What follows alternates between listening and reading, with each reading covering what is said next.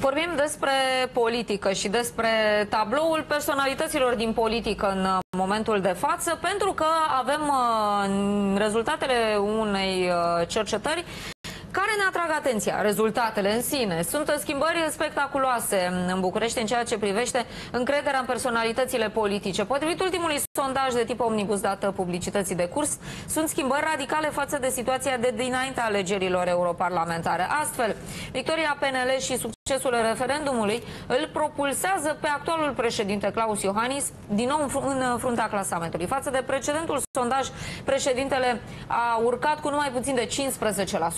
Vedem cine mai apare în acest top. Sunt chiar niște apariții interesante în premieră. Alina Sorocean ne spune mai mult. Bun găsit, Claus Iohannis a ajuns din nou în fruntea clasamentului încrederii cu 49% marjă de încredere bună și foarte bună în capitală. Gabriela Firea scade în mod natural pe valul anti-PSD, însă atitudinea de disidență față de partid îi oferă posibilitatea propriei evoluții. Primul, uh, primarul general menționându-se la 40% părere bună și foarte bună. Surpriza este Rareș Bogdan, noua stea a PNL, care intră în top direct pe locul 3, cu doar un procent sub Gabriela Firea. Deși nu a preluat conducerea PNL București, fostul jurnalist beneficiază de o încredere bună și foarte bună, de trei ori mai mare decât cea a lui Ludovic Orban.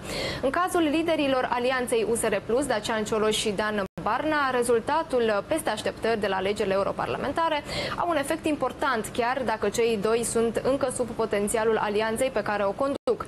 Cioloș a câștigat 4%, iar Dan Barna 12% față de precedentul sondaj. O creștere importantă înregistrează și Traian Băsescu de la 26% la 33%, al cărui partid PMP a depășit pragul electoral în primul rând datorită scorului bun din capitală. În schimb, eșecul ALDE îl aruncă pe Călim Popescu Tăricianu în subsolul topului. Președintele Senatului avea la începutul primăverii 42%, 42 uh, de procente, părere bună și foarte bună în București, iar în prezent se află la 22%. O ușoară scădere înregistrează și Victor Ponta, însă în interiorul marjei de eroare. Sondajul a fost realizat pe un eșantion de 1067 de respondenți, votanți în vârstă de 18 ani și peste. Marja maximă de eroare la nivelul întregului eșantion este de plus 3%, uh, la nivelul uh, încrederii de 95%. Da, și vorbim despre aceste date într-un context în care nu putem să trecem peste ce s-a întâmplat ieri, un congres extraordinar al PSD, la care s-au întâmplat uh, niște lucruri surprinzătoare.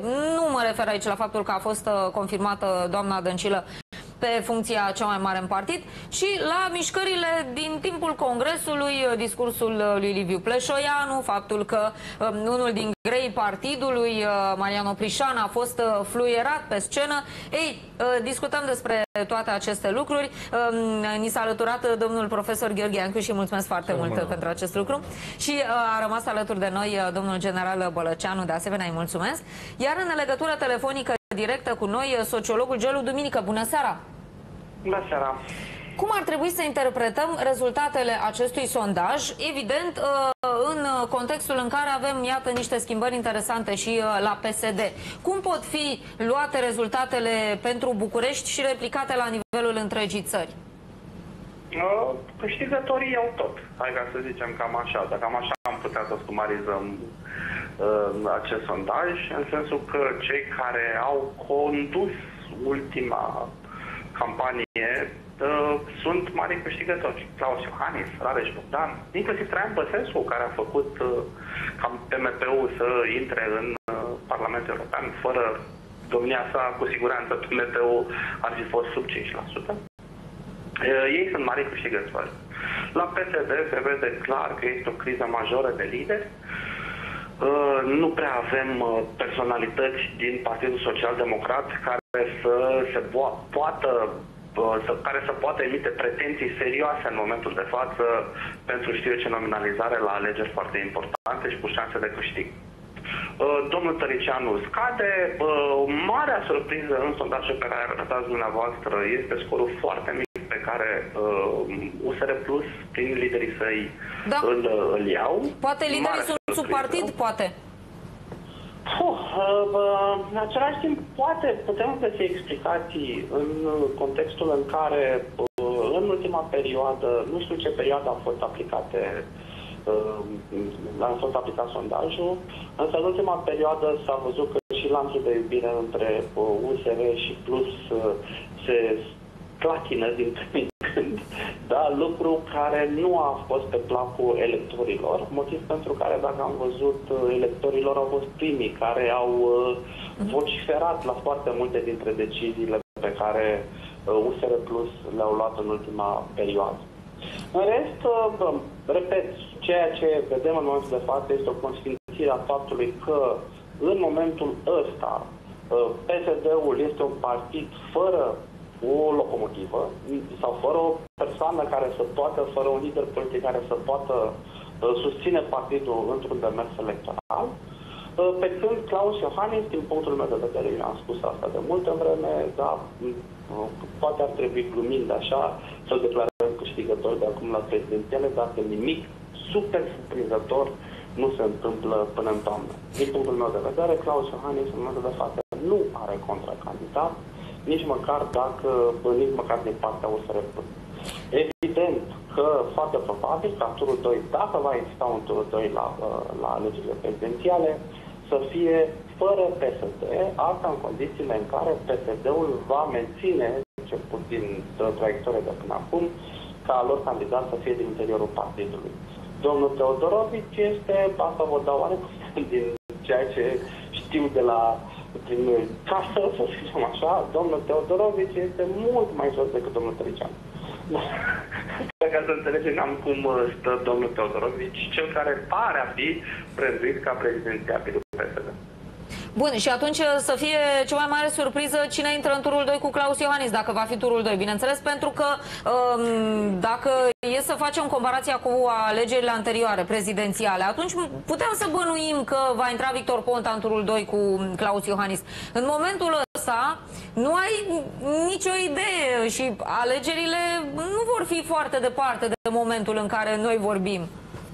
Nu scoate Victor Ponta nici în momentul de față din calcule da, pentru eventual tur 2, da, susținut poate de, de PSD pe urmă, nu-l scoate din calcule.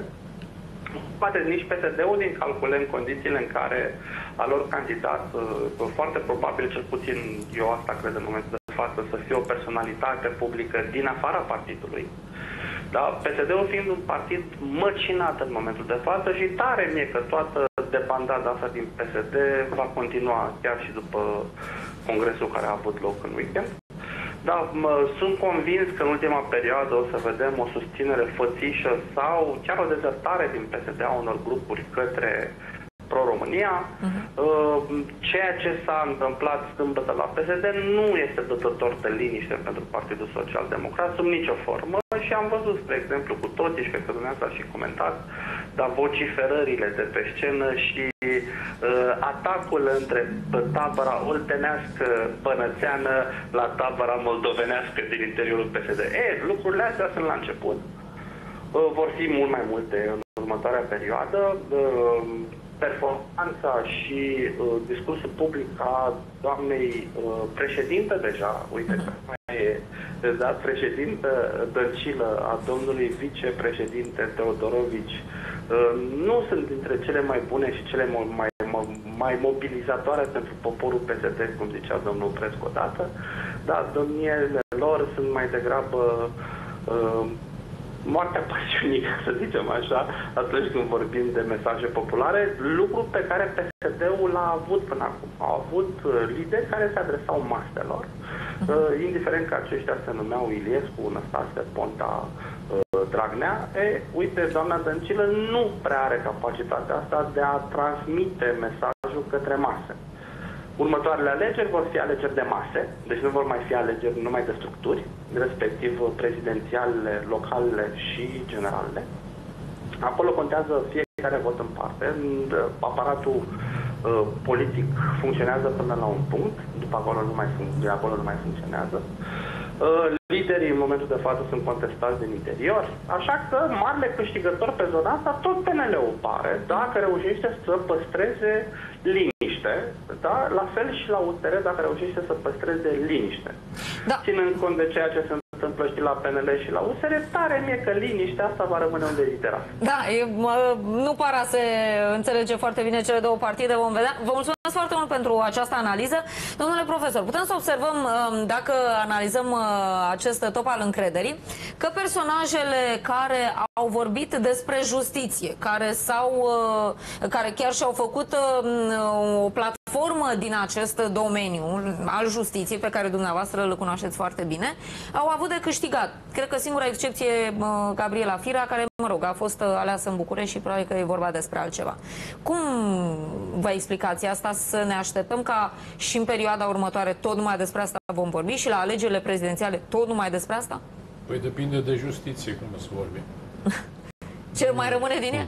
Ce mai rămâne sau, mă rog, ce mai face justiția, pentru că am văzut în ultimul timp și pe la Curtea Constituțională niște derapaje, nu numai în justiție. Uh, și în justiție, cel mai mare, cel mai mare derapaj pe care îl văd este faptul că uh, există în continuare condamnări pe abuz în serviciu. În condițiile în care din iunie 2016 și apoi, sigur, cu termenul de rigoare până la 1 august 2016, această infracțiune nu mai există. Și așa mai departe. Apoi văd la Curtea Constituțională o decizie, am văzut o decizie dată prin martie anul acesta în legătură cu, cu evaziunea fiscală care nu are nicio legătură cu realitatea și cu Constituția. Adică, ca să vă spun în două cuvinte, ceea ce, nu este, ceea ce este contrar codului penal și procedurii penale este o încălcare a Constituției, ceea ce este o operație. Pentru că și codul penal și procedura penală este egală cu, ca putere cu legea privitoare la, la evaziunea fiscală. Eu stau și mă înclin, adică nu mă, nu, pardon, mă închin, aproape că nu mai mă închin în legătură cu numirile făcute acolo. Curtea asta constituțională a devenit și, iertați-mă că vorbesc prodomo, poate, dar nu vorbesc prodomo, a devenit un fel de judecătoria constituțională. Și lăsați-mă să vă spun două cuvinte și cu asta închei în legătură cu alegerile din București. New Yorkul e democratie de stânga.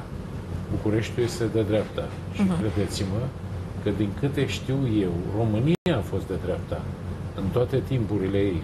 Acum când PSD-ul uh, a demonstrat că poate să facă să se să ia niște măsuri ca lumea, sigur că a, o perioadă a fost de stânga. Mm. Uh, știți cum treaba aceasta și cum spunea și uh, cel care a vorbit înainte, domnul Duminică, domnul profesor Duminică, este că uh, sunt uh, momente așa acum, nu în, tre- nu în vit trecut. Când e de stânga, când e de dreapta, în funcție de cum se balivernizează sau se vorbește de... De, de cum vrea poporul. De cum vrea poporul. Poporul bucureștean, că am mm. înțeles că a fost... Este făcut la nivelul Bucureștiului, Bucureștiului. acest sondaj, da? Acum, cred că se îmbate cu, cu apă rece cei care, și cu asta închei, care uh, propovăduiesc acum o schimbare totală. Bucureștiul nu, nu a fost, nu e o schimbare totală. Acum a fost, că uneori a fost de stânga, uneori a fost de stânga. Pentru că dacă mulțiți 400 de mii cu 2, înseamnă 800 de mii. 400 de mii membri, uh, cu un membru de familie, numai unul, dacă ar fi, înseamnă 800 de mii, ceea ce înseamnă că trece de un milion. Ca urmare, nu văd cum ar putea, nu Iohannis, că Iohannis se pare că este până alegerilor prezidențiale. La celelalte, uh, uh, celelalte alegeri nu văd cum ar putea să treacă partidele astea care sunt în opoziție și care sunt în opoziție ele cu ele. Mm. mm. Adică între ele da. e o opoziție. Nu e un, uh, cum să vă zic, un conglomerat, nu un conglomerat, o, o unitate, o uniune de partide de diferite tipuri care luptă împotriva PSD-ului. Părerea mea este că la alegerile prezidențiale, sigur că vor avea insucces cu cine va fi, eu știu, propus, dar la, la alegerile locale și cele parlamentare nu-i văd bine pe cei din opoziție.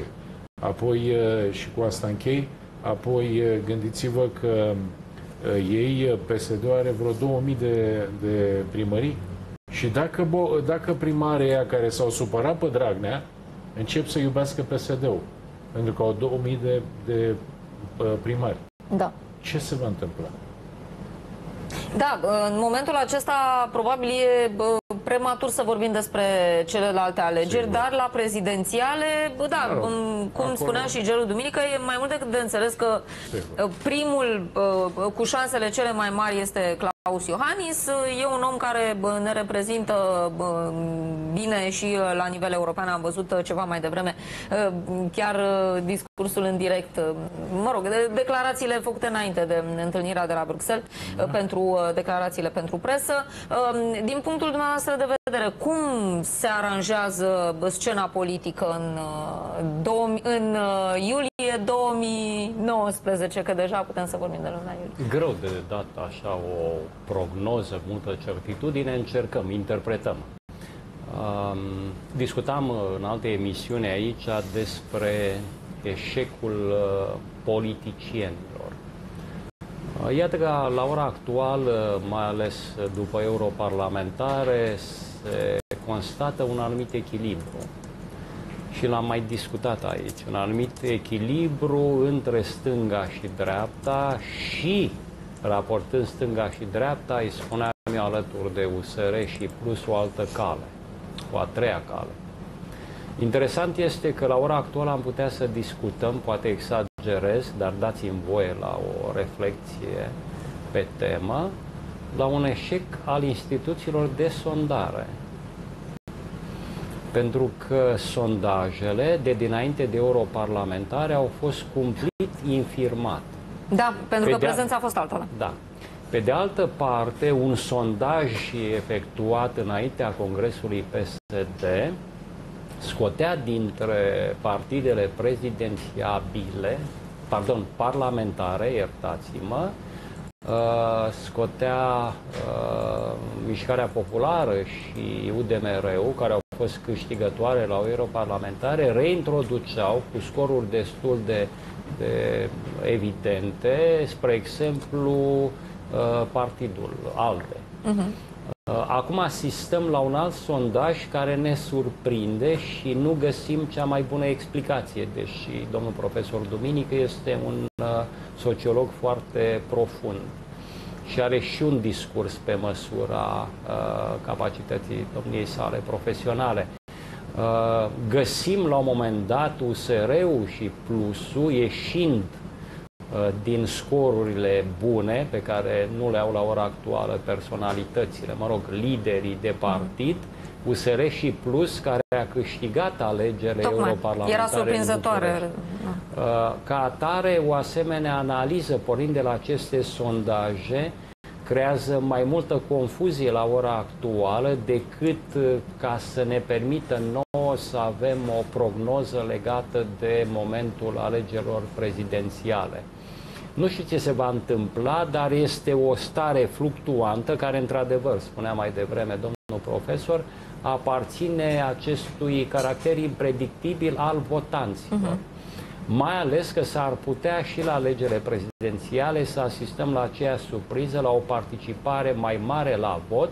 De regulă, europarlamentarele aveau cota cea mai scăzută de participare, apoi prezidențiale, iar bătaia cea mare, bătaia peștelui în limbaj neacademic, va fi în 2020 localele și mai ales parlamentarele.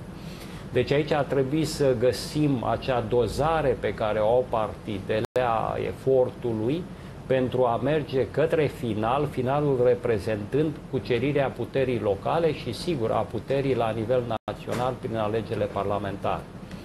Pe de altă parte, însă, se vede evident că PNL-ul se înscrie bine în această cursă a perspective alegerilor, este cotat pe primul loc de la europarlamentare încoace, ceea ce obligă partidul la o gândire mult mai eh, pragmatică din punct de vedere nu numai a alegerilor prezidențiale, dar chiar a unei gândiri care să dea satisfacție votanților printr-o strategie de comunicare adecvată a unui program de guvernare care să fie credibil.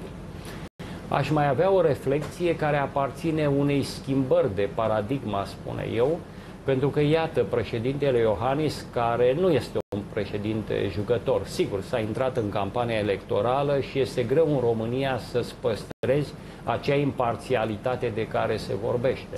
Însă, analizând cei doi președinți, ultimii doi, președintele Băsescu și președintele Iohannis, iată că un președinte jucător este cel care se menține totuși într-o poziție extrem uh-huh. de favorabilă. Surprinzător, da, ceea pentru ce spune, alegerile anterioare ale Ceea ce spune că probabil viitorul președinte, românii sunt mai apropiați și vor vota mai degrabă pentru un președinte care reușește să se implice cât mai puțin în toate scandalurile politice ci să facă astfel încât problemele și revin asupra lor, pentru că sunt determinante în mandatul unui președinte ca responsabilități directe privitor la apărare și privitor la politica externă, dar și probabil să găsim acel președinte care mandatul său să fie și un bun negociator.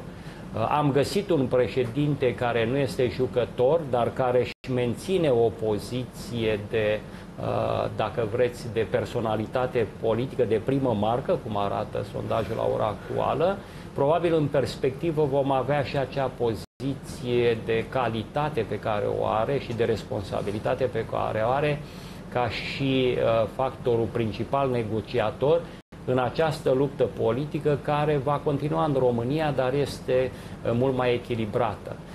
Și acum aș încheia prin faptul că trebuie să gândim din nou și în perspectiva anului 2020.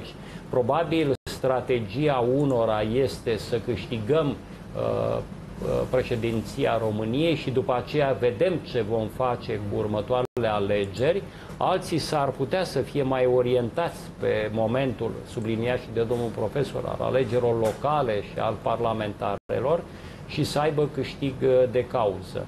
Realitatea este că Uh, se acceptă mai mult la ora actuală de către votanți a, dacă vreți, a unei structuri psihice, comportamentale a viitorului candidații, a viitorilor candidați, uh, dacă vreți, mai mult înspre nonconformism decât spre un portret șablon al candidaților, mai ales la uh, prezidențiale. Și dacă tot pomeniți de nonconformism, nonconformism am avut inclusiv la Congresul PSD, într-o mare de plictiseală în care oamenii apelaseră la telefoanele mobile să mai citească ceva interesant, că pe scenă erau doamna Dăncilă și cu alți domni de prin PSD care nu spuneam nimic interesant. Ei, în toată această plictiseală, la un moment dat, a apărut Liviu Pleșoianu de nicăieri. Bine, el deja își făcuse mâna săptămâna dinainte de congres și vorbise despre forțele oculte care o influențează pe Viorica Dăncilă și despre faptul că a primit schimbările în plic. E teleghidată Viorica Dăncilă. Haideți să-l vedem pe tânărul Pleșoianu și apoi discutăm. Am hotărât să vin fără costum, însă în cămașă neagră, pentru că vreau să vă povestesc un film horror. Un film horror care a rulat pe marile ecrane. Ca în orice film horror, tema este simplă. Dintr-o dată, oamenii de pe pământ, toți oamenii de pe pământ, tac. Toată lumea tace, nimeni nu mai scoate niciun sunet. Colegii nu mai vorbesc între ei. Uh, delegații la congrese nu mai vorbesc între ei. Oamenii din aceeași casă nu mai vorbesc între ei. Îmbrăcat cu o cămașă neagră ca pentru înmormântare, deputatul PSD Liviu Pleșoianu, candidat la șefia PSD, și-a început discursul comparând tăcerea din PSD cu cea din filmele de groază. Pleșoianu a ținut să puncteze absența lui Liviu Dragnea și lupta internă din PSD, care se dă tacit după condamnarea fostului președinte. Sentința de condamnare a lui Liviu Dragnea, despre care cred că trebuie să vorbim, să nu ne facem că n-a existat.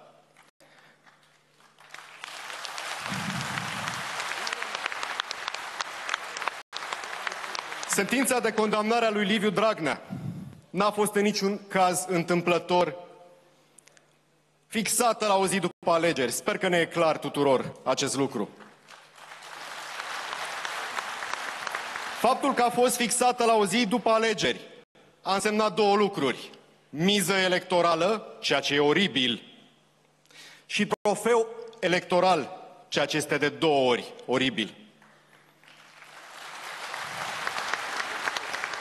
Pleșoianu a atins în discursul său temele favorite ale PSD. El a vorbit în termeni foarte duri despre abuzurile din justiție, despre dosarul penal deschis pe numele lui Darius Vâlcov pentru publicarea protocolelor secrete despre demagogia pro-europeană și pro-americană, care în opinia sa produc de servicii grave României.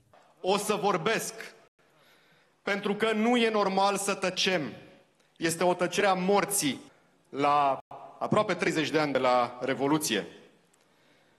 Ce vă rog eu astăzi este, indiferent cum votați, să votați astfel încât la acest congres să triumfe adevărul, nu ipocrizia. Să triumfe curajul, nu frica.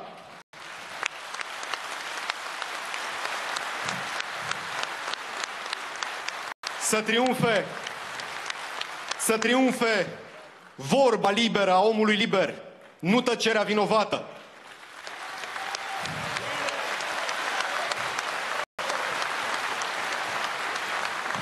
Să triumfe dreptatea, nu injustiția. Și mai mult decât orice, să triumfe România, nu Românica.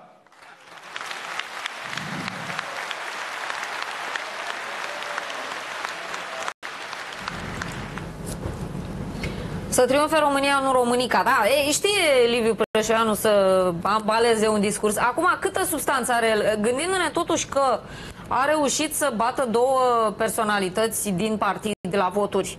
Ecaterina Andronescu și Șerban Nicolae. Un băiat uh, de care mai puțină lume știe. Poate l-au apreciat pentru discurs. Cum vedeți Cred că e apreciat pentru că s-a dus. Ha, da, avea un aspect așa mai uh, rebel. Prim, da. În primul rând. În al doilea rând, ceilalți doi nu cred că aveau șansă. De ce? Uh, nu știu, nu, nu, nu-i consider niște oameni nepregătiți din contră. Sunt extraordinari tocmai de aia. Pentru că sunt prea pregătiți, îi deranjează lucrurile care se petrec în societate și reacționează ca atare. Nu sunt șulfe, cum s-ar spune. Uh, trebuie să fii foarte atent la ceea ce spui, pentru că Poporul nostru, uh, dincolo de 90, când totuși era format din oameni care gândesc, nu vorbesc de cei care au fost împușcați în 25, vorbesc de poporul ăsta mare. Ci uh, eu vorbesc uh, de oamenii de rând care erau acolo. Astăzi, un asemenea popor, vreau să vă spun că am constatat cu mare regret că procentul de educație este sub nivelul 90. Este mult sub nivelul 90. Câte facultăți a face tot aia Se umblă cu pile în continuare, se umblă cu tot felul de moșmoande. Ă, dacă nu ne vom trezi, și eu sunt profesor, știți foarte bine, dacă nu ne vom trezi, să știți că o să ajungem foarte rău. Să ajungem niște, un popor needucat. Și nu cred că este... A scăzut calitatea studenților, ați observat în timp A, față bine, de... Bine, nu la stat, nu la, nu la Universitatea de Stat, dar în celelalte situații, în celelalte universități și nici la Cluj, se observă o, o degringoladă. Gândiți-vă că acum câteva zile a fost reținut, ca să nu spun arestat, o persoană foarte importantă de la o universitate foarte importantă. Probabil că știți despre ceva. Care vindea, după câte știu eu, vindea da. subiecte. Da. Și nu numai el, ci încă doi. Da. Eu, eu îl cunosc pe acest, acest om. Să știți că mai sunt de ăștia. Mai sunt de ăștia în învățământ. Vă dau exemplu din învățământ. Care scade, nivel, scade nivelul. Vedeți, trec oameni prin examene ca rața prin apă. Habar n-au de ce au terminat. Eu nu știu dacă știu ce facultate, exagerez Hmm. Au terminat. Dar ca să mă fac înțeles, spun treaba aceasta. Eu nu știu dacă acei oameni știu ce facultate au terminat. Repet, forțez, puțin, că sigur că facultatea o știe. Uh, o știu. Vedeți, dumneavoastră, observ și cred că și domnul general, pe care îl cunosc, cred că de vreo 40 de ani, nu așa? Așa. Să nu-i numărăm. Să nu-i numărăm, peste 40 de ani. Uh, credeți-mă, um, mă, mă înspăimântă o asemenea situație. Oameni needucați care umblă pe stradă. Să știți că educarea nu înseamnă, înseamnă să ții o cămașă extraordinară, niște pantofi sau uh, nu știu cum. Pur și simplu ce ai în cap. Iar ce are în cap fiecare îți dai seama după ce se întâmplă pe străzi. Nu ce se întâmplă în casă, că nu-i vezi. Pe străzi vezi. Și vezi ce, ce reacții au, nu, nu le calific, ce reacții au față de ceilalți. Ca urmare, vă spun ca o concluzie, după părerea mea, un astfel de om, a, acesta Pleșoian, eu am mare încredere în el, să știți, n-am încredere în ceilalți. Am mare încredere în el și am și spus treaba aceasta. Sper să schimbe ceva, dar nu cu discursul care l-a, l-a sfârșit. În ce Acela Cel cu prin care, când, da, prin care sublinia faptul că în sfârșit avem un partid care ține cont de, cum se zice, de directivele extraordinare ale cuiva. Uh, eu sunt convins că cine e la conducerea partidului o să țină cont și de aceste directive. Dar nu știu dacă el trebuia să facă chestiunea aceasta. De altfel, congresul ăla a fost uh, un fel de, de punerea uh, nu știu, Batiste pe țambal? Pe țambal, da. Uh, repet însă, la alegerile, cum a subliniat și domnul general, la alegerile locale și parlamentare nu-i văd bine pe cei din dreapta. La parlamentari, la asta, la prezidențiale, sigur că acum este destul de clară treaba, dar nu are când se mai ia măsuri pentru ca să repare tot ce s-a stricat. Dar la celelalte, mi-e foarte greu să văd altceva decât uh, ceea ce uh, cred eu că se va întâmpla. Bun, uh, în momentul acesta există tot felul de speculații, cum că în jurul lui Liviu Pleșoianu se va um, coagula un nucleu de uh, oameni care vor să plece din partid, să plece din PSD. Nu vor să plece la uh, Victor Ponta, la Pro-România, ci vor să-și facă o mm, mișcare politică proprie în pregătirea alegerilor de care pomeneați și dumneavoastră, cele din 2020, uh, alegerile locale și parlamentare. Cum vedeți uh, dumneavoastră această posibilitate? Ca PSD-ul, cel mai mare partid din România până la urmă, să se scindeze, că deja a plecat o bucată la Pro-România, dacă mai pleacă o bucată la noua formațiune, de cine mai rămâne? Mă gândeam uh, cu ceva timp în urmă, nu?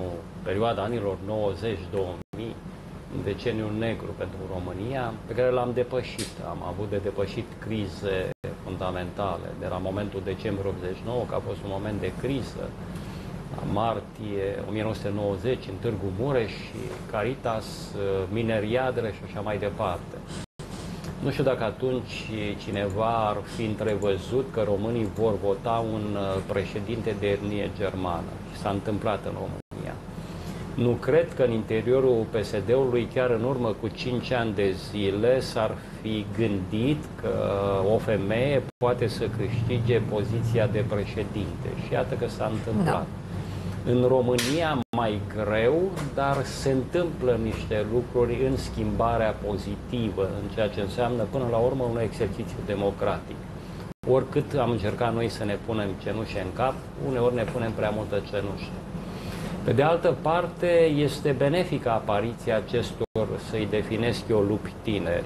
Și îl avem pe Rareș Bogdan, nu, care vine din mhm. afara PNL-ului, dar care a fost un factor stimulant al votului dat la europarlamentare pentru Mi se pare PNL. că e un, un model asemănător, Pleșoianu? E este același un model tipic? al uh, lupilor tineri, al celor care vin cu energie aparte, chiar dacă Liviu Pleșoianu vine din interiorul partidului, oferă, dacă vezi, publicului, fie el votant, fie un public de partid, cum a fost cel de la Congres, aparte un pic în ceea ce spuneam mai devreme a unui nonconformism. Uh-huh. De fapt, este o școală prin care a trecut și a avut destul succes și Victor Ponta. Uh-huh. Rămâne de văzut dacă liderii tineri ajung la un mod de comportare din ceea ce ne-au arătat liderii politici trecuți, pentru că atunci se întâmplă un eșec de regulă în cariera lor sau poate nu un eșec, dar trebuie să se readapteze unor situații mai neplăcute. Vezi și uh, ceea ce s-a întâmplat în cariera politică a lui Victor Ponta. Um, da, uh, oamenii au nevoie de elemente noi, uh, oamenii au nevoie de o energie pe care o exprimă cei tineri, pentru că această similitudine la mine între Rareș Bogdan și Liviu Preșeanu nu pleacă de la ceea ce înseamnă reprezentarea, lui, reprezentarea lor pe un curent politic, unul de dreapta, celălalt de stânga, ci spre ceea ce înseamnă elementul de noutate și energia, nu, uh, elementele noi pe care le aduc cei tineri. Și din punctul acesta de vedere, succesul este uh, evident. Pe de altă parte, politica are și alte căi, adică România nu cred că o să ne ofere prea repede un spectaculos la Zelenski în Ucraina. Nu excludem o asemenea uh, posibilitate, depinde ce candidați vor apărea.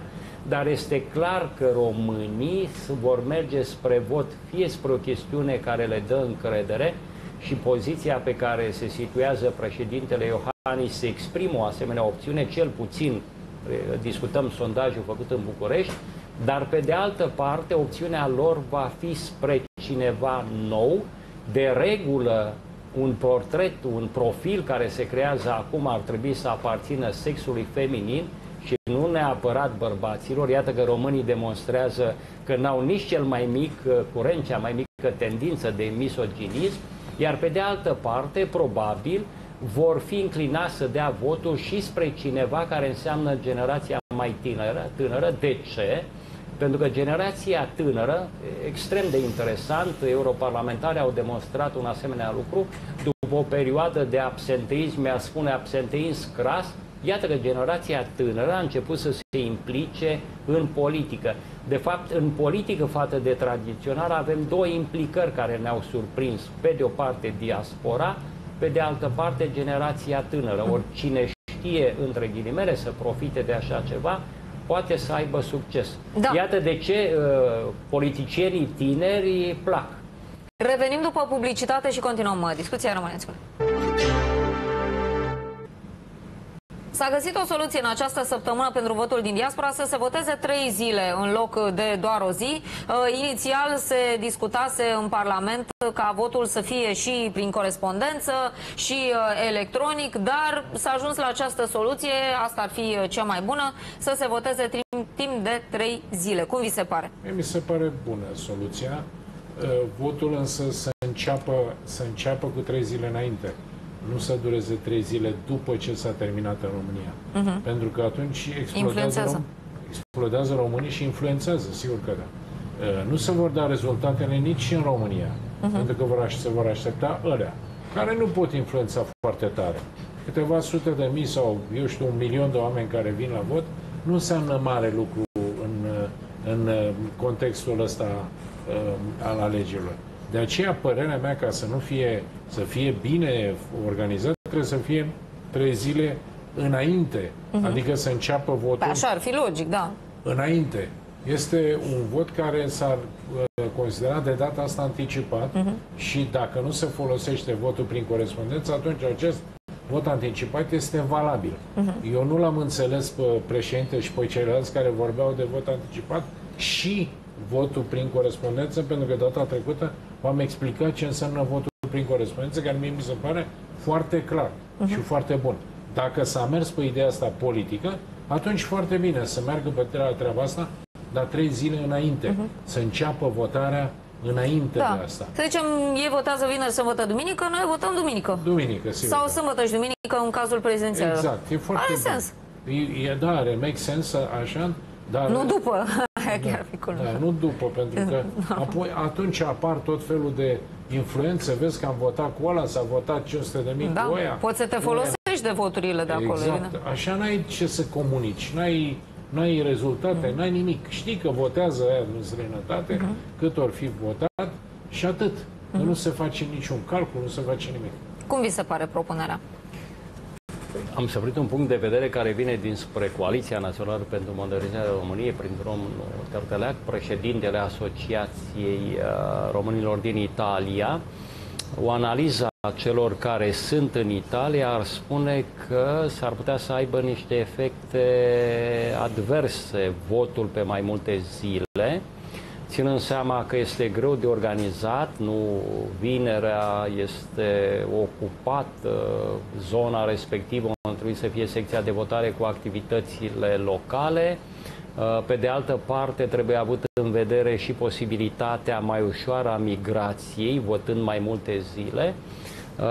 Deci e o problemă care trebuie analizată, însă până la urmă probabil aceasta va fi decizia. Pe de altă parte, se propunea Uh, o înregistrare mai bună a votanților din uh, diaspora și uh, liste de înregistrare în ordinea celor care se prezintă pentru a fi înregistrați, pentru că o problemă care a fost legată de votul din diaspora a fost și faptul, o justificare a celor care n-au putut să asigure normalitatea votului, ceea ce este o încălcare, dacă vreți, a Constituției, nu, domnule profesor, a dreptului pe care trebuie să-l exercite orice cetățean, dreptul de vot, uh, și datorită faptului că nu s-a știut exact care este cifra celor care votează.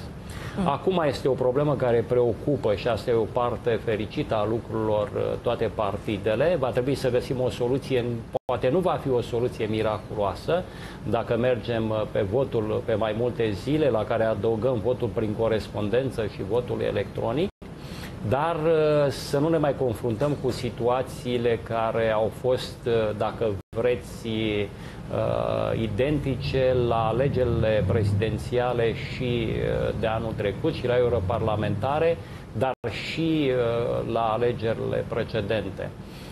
Probabil va trebui să gândim acest aspect al votului electronic pe care ar trebui să-l exprimăm nu numai prin, uh-huh. din diaspora, trebuie să-l realizăm și în România pentru că este o formă modernă, sunt state care au adoptat votul respectiv, investițiile pe sistemele de securizare sunt mari, încrederea sau slash neîncrederea în cei care controlează sistemul din partea serviciilor este încă destul de mare, dar noi trebuie să depășim asemenea obstacole și trebuie să avem un pic de îndrăzneală, să gândim asupra unor forme mm. care să permită și în România, dar și în afara României, un Bun. vot cât mai facil, un vot modern, dacă vreți. Mai avem puțin timp, uh, câteva minute până la final. Mai e un subiect care mie mi-a atras atenția, eu nu reușesc să înțeleg foarte bine. Uh, cum e posibil ca un fost ministru de interne, Cristian David, nu mai știe lumea de el, dar omul ăsta fusese uh, condamnat uh, la fond la 5 ani de închisoare pentru că ar fi luat șpagă, așa s-a zis. Uh, mai mult de atât, asta cine arest preventiv, ceva uh, timp. Bun, și acum aflăm săptămâna asta că a fost achitat. Păi cum e da. posibil să se întâmple asta? Trebuie să stea în arest, nu arest preventiv. Pentru că se face confuzie între arest, arestare și condamnare, da. carcerare. A stat deci, înainte de a fi condamnat, e, da. da. e bine să spunem Arest arestare, da. nu arestare preventivă, că e preventivă, da. nu apare ca da. o condamnare. Înainte să înceapă procesul, exact. da. După aceea e condamnare. Vedeți, mie mi se pare absolut aiurea. O, a, a, avut, a existat o comandă, probabil, pentru uh, domnul acesta, David. Ar fi grav dacă ar fi așa. O fi fost o comandă pentru ca să fie condamnat la fond. E, Curtea Supremă, în înțelepciunea sa și probabil că a nimerit un complet uh, serios, un complet ca lumea, fără tot felul de, de convenții sau, să nu le spun altfel, încheiate cu alții, și l-a, l-a achitat, pentru că, până la urmă, și cu asta închei, uh, pentru că există, să existe această, o, o asemenea condamnare, trebuie să existe ori un, un flagrant delict, da. ori să existe niște martori. Probezi ce, ușor o luare eu, de șpagă, nu? Teoretic. Eu nu, sunt, eu nu sunt de acord cu, cu, uh, decât cu flagrantul delict. Cât am fost procuror la general, procuror la general la închete speciale, nu acceptam niciun fel de anchetă fără flagrant delict. Nu există așa ceva. Dovada nu este numai a dânsului, ci și a celui de la Maramureș, care a fost ministrul finanțelor, și a dânsului și așa mai departe. Probabil că în, în completul ăsta de 5 care s-a pronunțat n-a mai fost de acord cu uh, martorii și cu tot fel de probe adiacente care să nu dovedească decât inter, uh, prin, uh, prin recoșeau, așa ca luat Bun, da, sunt unele infracțiuni care, ok, pot fi mai greu de probat să zicem. Dar asta e o infracțiune la care lucrurile ar trebui să fie clare, adică am dat sau nu șpagă, adică nu că am dat-o la fond, dar la apel n-am mai dat-o. Da, asta doamne. poate să pară și 10 ani. oamenii care vă urmăresc acum se gândesc, domnule, dar ce justiție doamne, e asta? Știți ce se întâmplă? Uh, perioada 50 anilor 60 s-a reluat acum timp de 10 ani, până până 2016. Exact aceeași perioadă. Și acum nu mai e așa? Nu mai e, pentru că lucrurile au... Păi dovada. Așa ceva, o asemenea achitare nu se întâmpla în, urmă cu, în urma anului 2016. Oricum nu e șocant. așa ceva. Erau protocoale. Erau protocoale, nu erau soluții de fond. Pentru că au început, a început lumea să-și dea seama de necazul protocolelor, de efectul protocolelor care s-au încheiat. Înainte, în anii 50 nu era niciun protocol. Se făcea la ordine. Cam așa ceva face Oricum, pierderea încrederii bă, e justificată, pentru că în momentul în care poate nu te pricepi, da?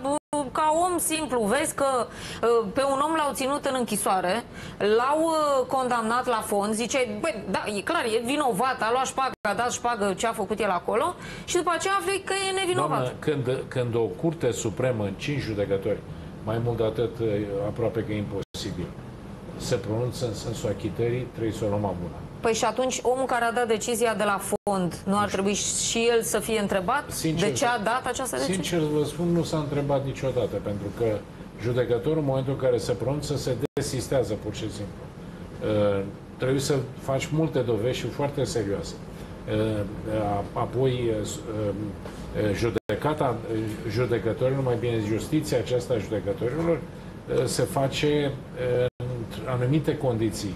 Nu se poate face oricum ca la noi, ca la noi oamenii civili îmi permit să vă spun acum, domnule general. Mulțumesc. Dar, dar pentru că acolo nu, exist, nu existând atâtea chestiuni vis-a-vis -vis de justiție, ei își fac oarecum de cap. Însă, în, în ultimii trei ani, foarte rar am mai văzut condamnări aberante, aiurea, aiurea. Pur și simplu am văzut că lucrurile au început să intre pe făgaș, inclusiv cu unii judecători care nu mai sunt în justiție și care se plâng pe la televizor uh, cu voce foarte copilărească despre ceea ce s-a întâmplat cu ea. Uh, să vorbească cu mine ce s-a întâmplat cu acea doamnă care plânge pe la televizor și a fost la curte. Nu știu despre cine vorbiți? Nici, dar, nici eu n-aș vrea să mai știu.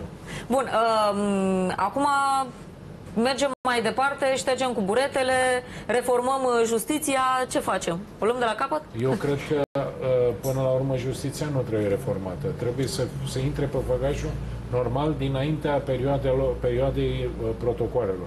Protocoale care erau un fel de, de scut, așa, scut al templierilor, care nu putea să fie trecut de nimeni.